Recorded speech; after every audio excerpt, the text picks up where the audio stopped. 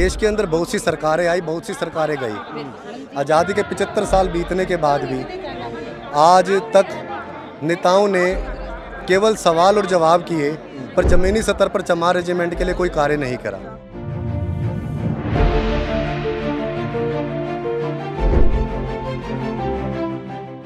जैसे हम लोग जनरली कहते हैं ना कि दादाजी, पापा जी, कहानी सुनाओ मुझे। कोई कहानी सुनाओ। तो कुछ कहानियाँ याद हैं आपको?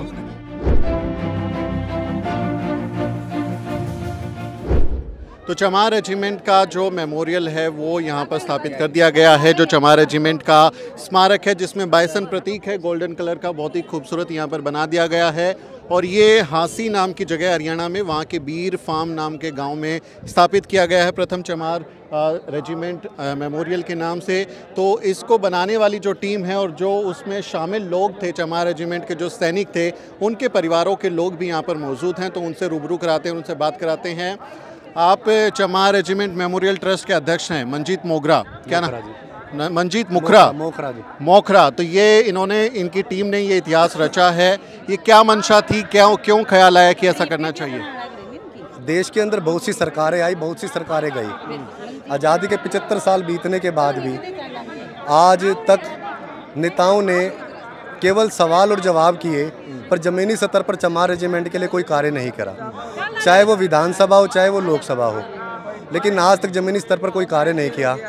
तो हमारी युवा टीम ने सोचा कि कुछ ऐसा समाज के लिए किया जाए, जिससे स्वर्णिम स्वर्णिम अक्षरों में, इतिहास में नाम दर्ज हो। तो हमने धीरे धीरे परिवारों तक पहुँचना शुरू करा। हमें पता लगा करीबन 97 परिवार ऐसे हैं। 97 परिवार ऐसे हैं जो चमार रेजिमेंट के अंदर थे शहीद हुए थे और हमने पूरा इतिहास खंगाला। तो हमारी युवा टीम ने सोचा फिर हमने एक ट्रस्ट बनाई।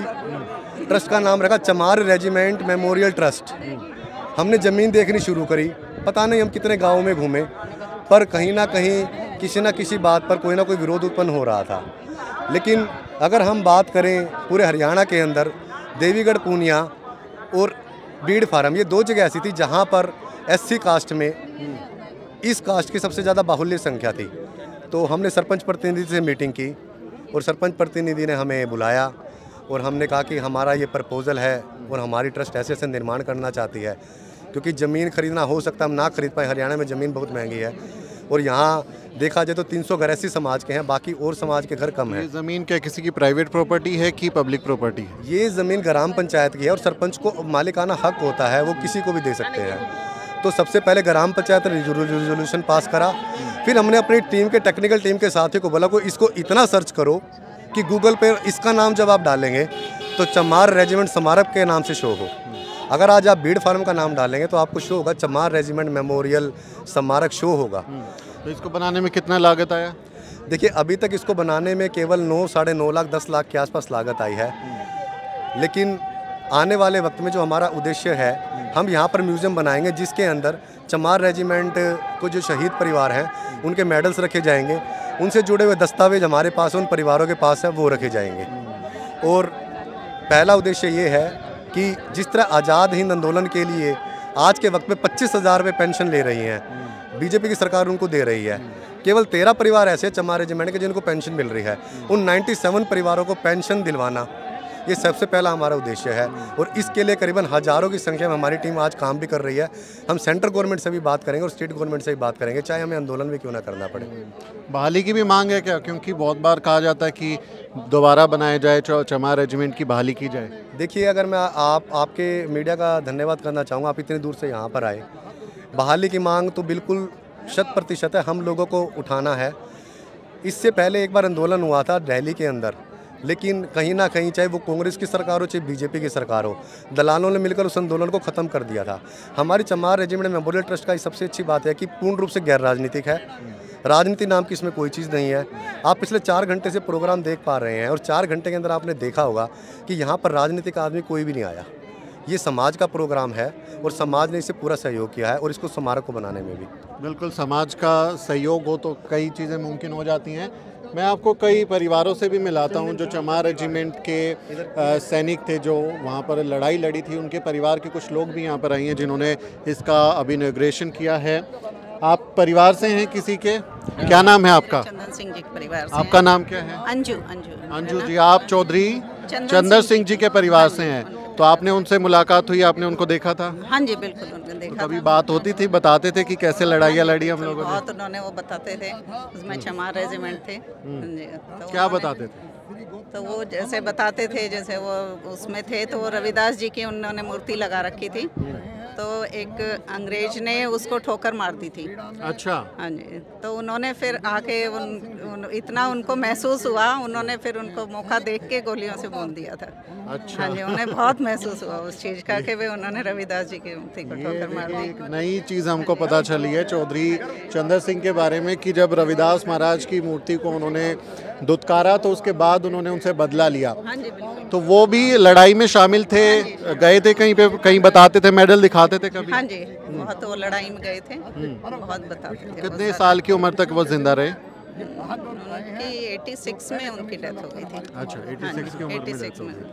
तो अभी आप क्योंकि एक स्वतंत्रता सैनिक के परिवार से हैं तो कुछ सरकारी सुविधाएँ कुछ पेंशन कोई फ़ायदा मिलता है आप लोगों को? नहीं उन्होंने हमें जो संस्कार दिए हम सब अच्छे सब बच्चों को हम छह बहन भाई हैं सब अच्छी पोस्ट पे हैं। अच्छे सारे क्लास वन ऑफिसर हैं तो सब अच्छी पोस्ट पे हैं। सब उनकी वजह से आज हम इस हमें बड़ा गर्व हो रहा है इस का। हाँ तो आज ये चमार मेमोरियल जो बना है चमार रेजिमेंट को दोबारा लोगों के जहन में आएगा लोग सोचेंगे कैसा लग रहा है आप लोगों को? बहुत अच्छा लग रहा है बहुत गर्व हो रहा है हमें कि चलो उनके नाम से अब सब इकट्ठे भी हो रहे हैं। हाँ जी बहुत गर्व महसूस हो रहा है। हाँ आप भी उनके परिवार से हैं? मैं बड़ी बेटी हूँ। आप उनकी बड़ी बेटी हैं तो सारा परिवार जो है वो आज आया है यहाँ पे? हाँ सब आए सब आए। हाँ जी हाँ जी बिल्कुल। मैं बड़ी बेटी हूँ महिला एवं बाल विकास विभाग में डिस्ट्रिक्ट प्रोग्राम ऑफिसर थी। हरियाणा में? हरियाणा में। हरियाणा में। हाँ सोनीपत से रिटायर हुई थी मैं।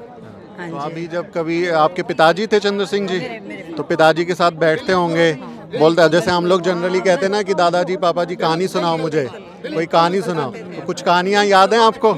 बताते थे कि वहाँ भी आर्मी में भी जहाँ जहाँ उन्होंने मतलब जॉब किया तो सब जगह ये चीज़ें डिस्क्रिमिनेशन होती हैं काफ़ी। बहुत भेदभाव होता है। हम लोग भी जैसे जॉब किया है तो वहाँ भी होता है। अभी भी होता है कि भी इस कास्ट को बहुत उससे दुर्भावना से देखा जाता है। मतलब जैसे हम लोग सब ऑफिसर्स हैं तो हमारा स्टाफ जो है अगर दूसरी कास्ट का है तो वो हमें ऑफिसर देख के खुश नहीं होता। अच्छा। तो ये भी एक है अभी भी है ये चीज़ कि भाई ऐसा नहीं है। तो इस चीज़ को हमने आगे लेके आना है कि ताकि सब बराबर रहें। तो मेन हमारा मकसद ये होना चाहिए कि पढ़ें और जागरूक हों। अगर एकता हमारी रहेगी तो कोई कुछ नहीं बिगाड़ सकता। तो कभी कुछ ऐसा मौका आया कि आपके ऑफ़िस में आपके आसपास किसी आदमी ने जातिवाद किया और आपने उसको जवाब दिया? हाँ बिल- बिल्कुल जवाब देते हैं क्यों नहीं? ऐसे बहुत मौके आते हैं। बोले मेरा बाप जो है वो लड़ाई लड़के आया था बंदूक से। हमारे फादर तो ऐसे थे कि गाँव से ना गरीब बच्चों को लेके आते थे। चाहे वो किसी भी कास्ट का होता था वो सबको लेके आते थे। और हमारा वहाँ रोहतक में गांधी गांधी हरिजन सेवा आश्रम है तो वहाँ रखते थे। मतलब बिल्कुल मामूली, फ्री में वहाँ पे हॉस्टल था, ट्यूशन्स पढ़ाते थे, वो खुद पढ़ाते थे। वो उसके आश्रम के प्रधान भी रहे हैं। मतलब कई जगह उन्होंने जॉब की। तो लास्ट में फिर वो और आपका क्या नाम है? मेरा नाम वीरेंद्र सिंह चहल है। वीरेंद्र जी जब उस बाइसन को आप देखते हैं तो क्या आता है दिमाग में? दिमाग में यही आता है कि भाई हमारे जो पेरेंट्स थे हमारे पूर्वज थे उन्होंने इतना जो है ना संघर्ष किया समाज को ऊपर उठाने के लिए। हम भी उसमें से एक परसेंट उनकी शिक्षाओं पे ध्यान दें। हमारे फादर का पहला फार्मूला था कि महिलाओं को जो है ना शिक्षा में आगे आना चाहिए। और हमारी कौम को शिक्षा के- क्षेत्र में कार्य करना चाहिए। उन्होंने भी अपने जीवन में काफ़ी कार्य किए। सभी जो है ना गाँव से बच्चों को लेके आते थे। साथ में जो है ना हमारे घर के साथ में ही गांधी हरिजन सेवा आश्रम था। उसमें करीब सौ कमरे थे। हमारे बच्चों के पास, जो समाज के बच्चे थे, उनके पास रहने के लिए खर्चा नहीं होता था। वहाँ फ्री में रहते थे मैथ था, वहाँ रुक के डिफरेंट कॉलेजेस स्कूल्स में पढ़ते थे। वो उनको सुबह सुबह उठ के जो है ना जगाते थे कि भाई उठो, पढ़ो। एक ही साधन है हमारे पास, शिक्षा का। शिक्षा को जो है ना अलग जगह रखना है। और वो जो उनका उद्देश्य था, उनको हम एक परसेंट भी अगर आगे ले जा सकते हैं उनका एक वो होगा आशीर्वाद सच्ची श्रद्धांजलि वही बिल्कुल बिल्कुल ये चौधरी चंद्र सिंह जी के परिवार के लोग जो हैं जिन्होंने अपने परिवार के लोगों को याद किया और उनकी बलिदान को उनके सहयोग को याद करते हुए ये जब स्मारक वो देखेंगे तो निश्चित तौर पर उन्हें गर्व की अनुभूति होगी और जो भी लोग इसको देखेंगे वो अपने ना सिर्फ़ इतिहास से जुड़ेंगे बल्कि हिम्मत भी लेंगे प्रेरणा भी लेंगे और अपने उस शानदार इतिहास को देख कुछ सीखते हुए भविष्य का निर्माण करेंगे। इस बातचीत पर आपकी क्या राय है कमेंट करें और हमारे चैनल को फॉलो ज़रूर करें। साथियों, अगर आपको द न्यूज़ बीक का काम पसंद है और आप चाहते हैं कि हम यूँ ही अम्बेडकरवादी पत्रकारिता करते रहें तो हमारी आर्थिक मदद ज़रूर करें। आप अपनी स्क्रीन पर दिखाई दे रहे इस क्यूआर कोड को स्कैन करें और न्यूज़ बीक फाउंडेशन के खाते में अपनी दान की राशि भेजें। क्यूआर कोड के अलावा आप यूपीआई के ज़रिए भी मदद कर सकते हैं। आप हमारी UPI ID news week at the rate Yes Bank भी मदद भेज सकते हैं। इसके अलावा आप हमारे अकाउंट में भी मदद भेज सकते हैं। खाते का नाम है news peak foundation account number है zero two three five double eight seven double zero double zero zero six four zero. I F S C code है Yes B double zero double zero two three five. Bank का नाम yes bank है और branch है Nehru palace, Delhi. आप donation के एवज में इनकम टैक्स में भी छूट पा सकते हैं। डोनेशन की रसीद पाने के लिए ट्रांजैक्शन का स्क्रीनशॉट हमें भेजें। टाइप करें डोनेशन स्पेस आपका नाम और हमें eight five nine five seven nine four two two four पर व्हाट्सएप करें।